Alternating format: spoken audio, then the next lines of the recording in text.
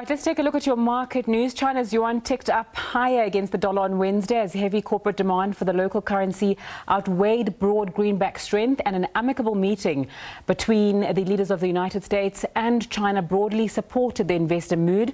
Presidents Joe Biden and Xi Jinping held an hours-long virtual meeting on Tuesday. Although it appeared to yield no immediate outcomes, it gave the two leaders an opportunity to nudge their relations away from icy confrontation that we used to.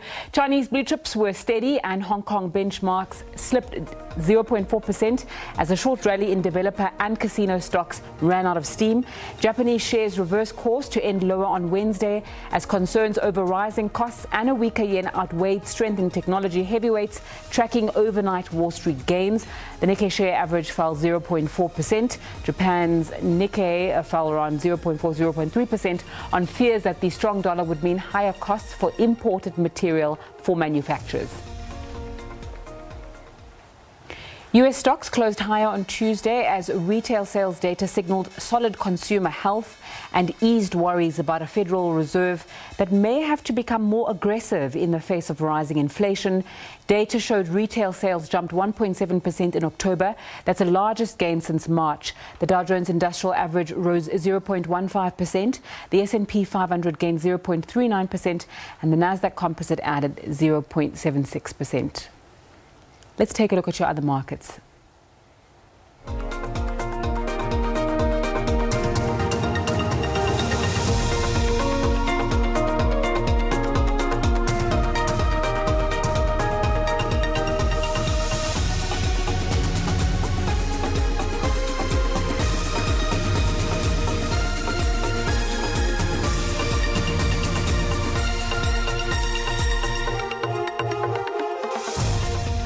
Right, let's speak to Michael Treherne from Investec Asset Management. A very good afternoon to you, Michael. Thanks so much for your time.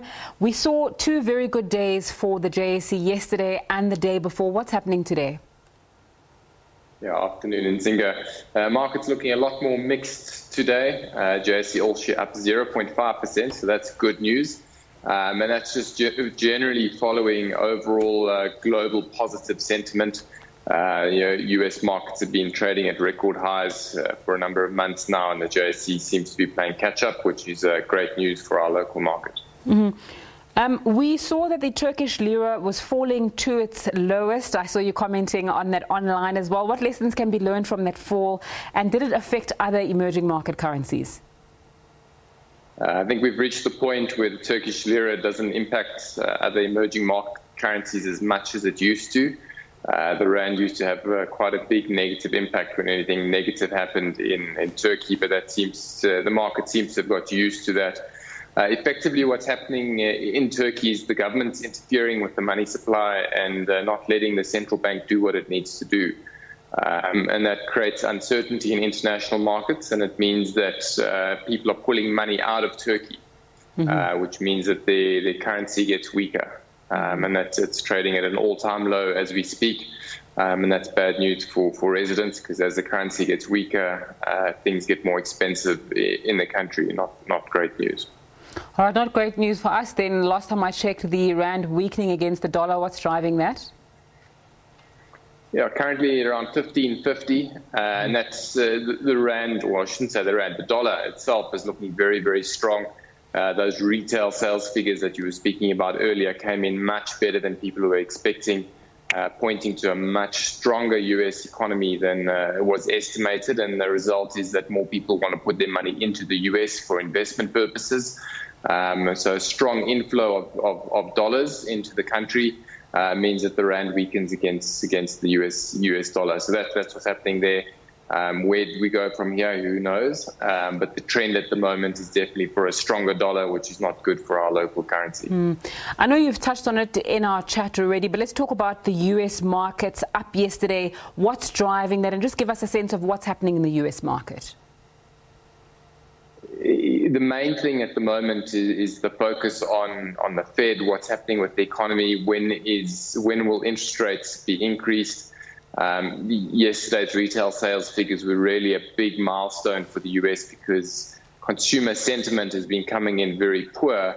but uh, it looks like people are still spending a lot of money in the economy. Um, mm-hmm. And that's sort of a divergence from what we've seen in the past, where generally where there's weak consumer sentiment there's weak spending.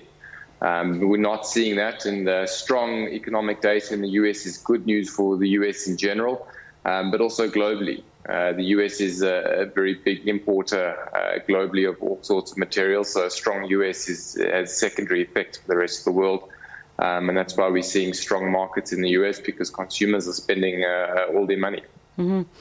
Let's come to company news in South Africa and what's happening with Woolworths.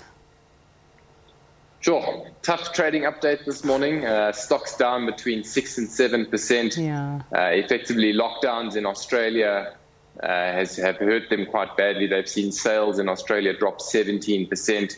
Uh, locally, things are a bit better, but uh, lockdowns and the riots in the middle of the year uh, didn't help. Um, they say they're expecting profits to drop by at least 20%. Uh, we'll have to wait for their full updates to see exactly what's happened.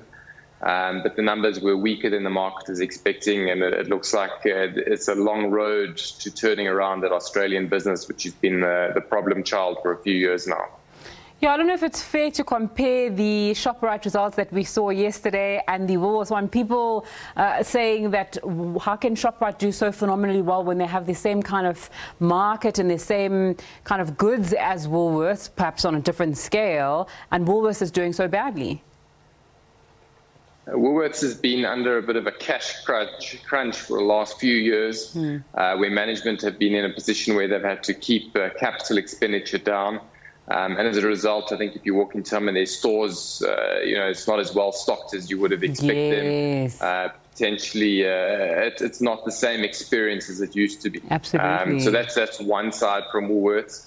But also, Shoprite uh, said, you know, we don't really want to play in the rest of Africa, but uh, we're going to focus more on the South African market, and we're going to move more into the premium brands. Um, so you'll see that a lot of Checkers outlets are now starting to be revamped uh, to to be direct competitors with with Woolworths. So Woolworths is a lot of pressure locally, um, and then also in, in, Australia, that asset's just been uh, terrible since punishing the day them. Yeah. So management has to split between the two, and it's tough.